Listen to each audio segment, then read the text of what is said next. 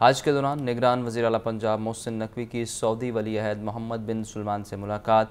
मुलाकात के दौरान मोहसिन नकवी की मोहम्मद बिन सलमान से दो तरफ़ा अमूर पर गुफ्तु निगरान वजी अला मोहसिन नकवी कहते हैं, हज के दौरान मुल्क कौम के लिए बहुत दुआएँ की हैं। मोहसिन नकवी की मुलाकात हुई है। सऊदी वली अहद मोहम्मद बिन सलमान से उस हवाले से आपको अपडेट कर रहे हैं। मुलाकात के दौरान मोहसिन नकवी की मोहम्मद बिन सलमान से दो तरफ़ा अमूर पर गुफ्तु हुई। निगरान वजी अला मोहसिन नकवी कहते हैं, हज के दौरान मुल्क कौम के लिए बहुत दुआएँ की।